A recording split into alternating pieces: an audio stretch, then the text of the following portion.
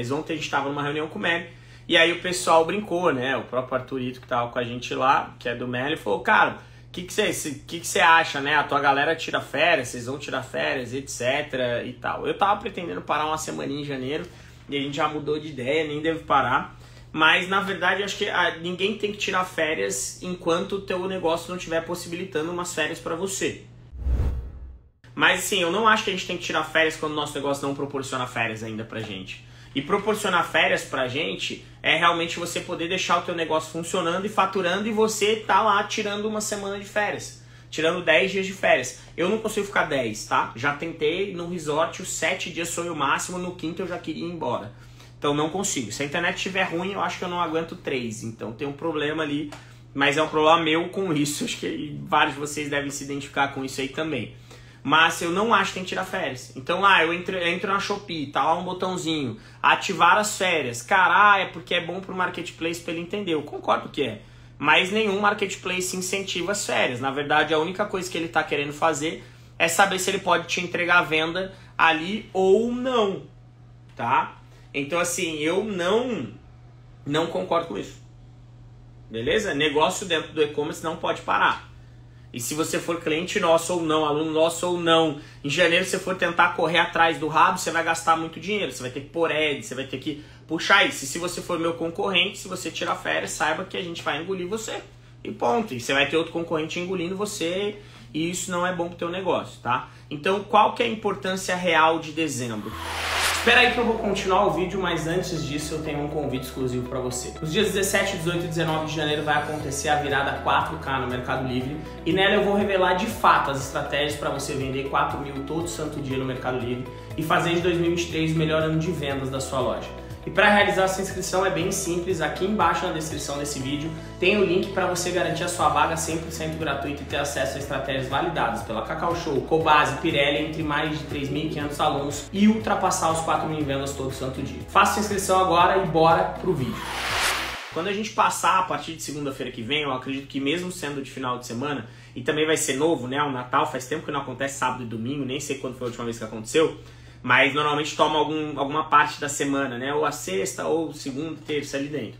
E não vai acontecer esse ano. Então também vai ser uma expectativa nova do que como vão ser as vendas na segunda e na terça-feira que vem, na quarta-feira que vem, para a gente poder sentir. Mas normalmente é um momento onde você consegue planejar melhor o teu negócio.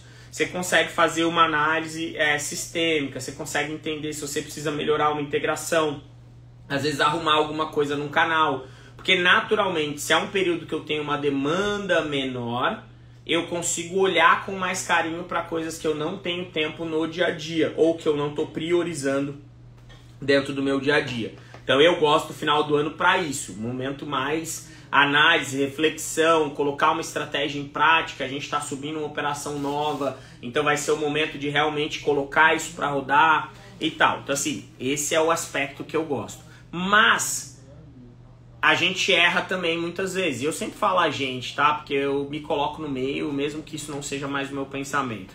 Tem gente que acha que o ano só começa lá em janeiro. E o ano não começa em janeiro. A gente tem que estar tá vendendo desde o dia 1 de janeiro. Tá? Eu não sei se vocês podem, mas eu não sei se o mês de vocês pode ter 20 dias, se o ano de vocês pode ter 11 meses. Se puder, me ensina a fazer, porque eu meu ano não pode ter 11 meses. Se tiver 11 meses, eu, porra, perdi dinheiro pra caramba aqui dentro. Entendeu? Então eu não aconselho que você comece o seu ano só em janeiro. Na verdade, o, seu, o meu ano que vem já começou. Em novembro eu fiz, o Léo aí.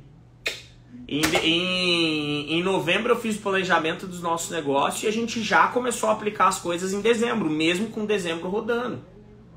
Não dá tempo da gente perder um mês. E se você for o cara que quer lá em janeiro aplicar uma estratégia, quer lá em janeiro olhar para algo que você sabe que precisa ser feito dentro do seu negócio, sinto lhe dizer, mas você vai perder janeiro.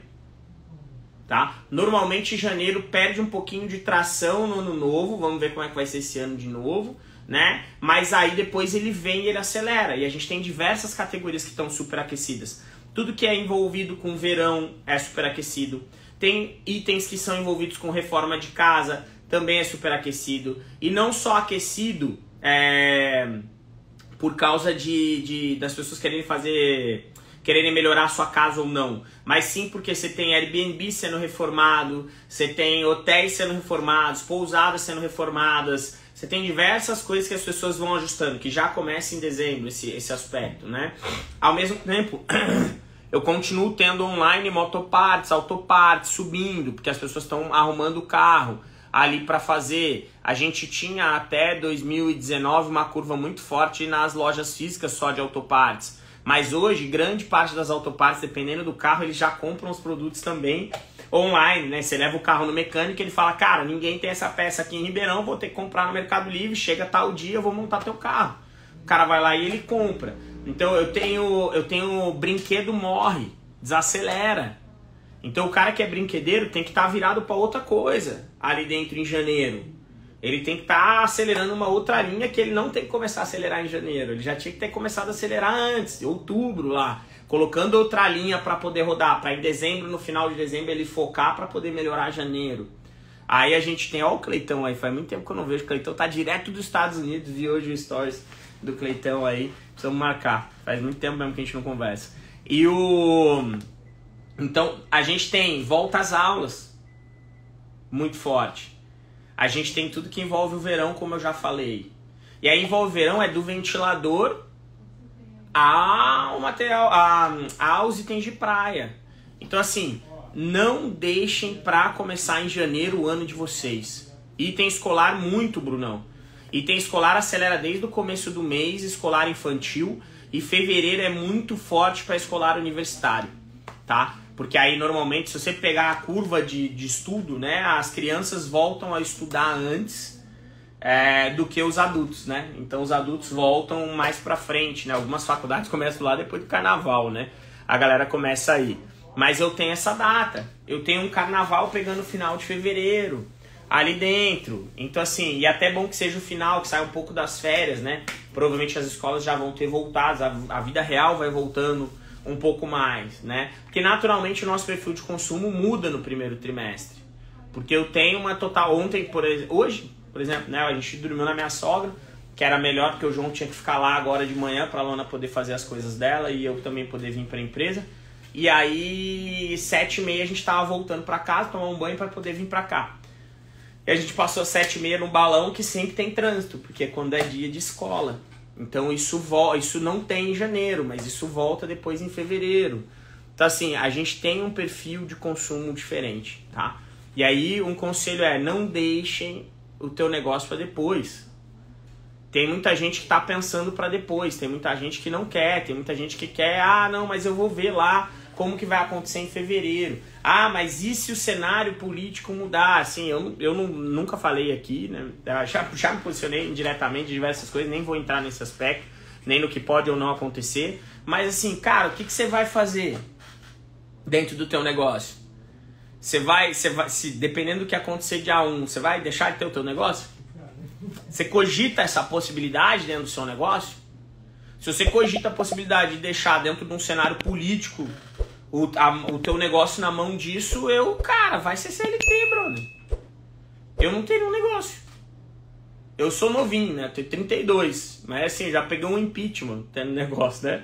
Ali dentro. E conheço gente que quebrou no impeachment. Conheço que tomou a decisão errada ali naquele momento e sabe e assume que tomou a decisão errada. Mas tem um negócio que o cara desistiu e poderia estar tá bem. E o nosso cresceu baseado nisso. A gente venceu uma pandemia. Então, assim, é, aí tem gente que fala, ah, mas e se a pandemia voltar e não sei o que? Cara, se voltar, na minha visão, é cenário político. A gente tem que continuar se vacinando, se cuidando, tomando as devidas cautelas. Mas foi ruim pro e-commerce, qualquer cenário do Fica em Casa? Não, eu não defendo ele, tomara que ele não volte. Mas assim, então não tenho que temer isso também. Ali dentro, o que, que a gente tem medo, na verdade? Ou no fundo, no fundo, a gente tá dando uma desculpa para nós mesmos para comer igual dieta, né? Eu tô nessa. Acho que eu já fiz umas cinco dietas, hoje comecei a tomar chimarrão para poder parar de ficar comendo, então vou ficar tomando chimarrão o dia inteiro, vai testando uma coisa diferente da outra. Agora, qual que é a desculpa? Paguei personal dois meses, fui um mês, no segundo nem fui, paguei ele porque ele reservou os horários, aí eu fiquei com.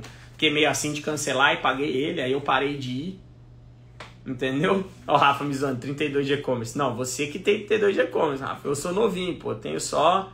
Tô indo pra 13 só. Tá, tá tranquilo ali dentro. Mas o, o. Tô indo pra 13 não, né? Fiz 13 ali dentro. A gente faz 14 ano que vem de e-commerce. Então, assim. É, não deixem essa decisão na mão dos outros. Não deixem essa decisão fora dali. É exatamente, Edu. Mentalidade total. Não vai ser fácil todo dia, não vamos estar tá bem todo dia. A gente tem desafio todos os dias para a gente poder fazer, entendeu?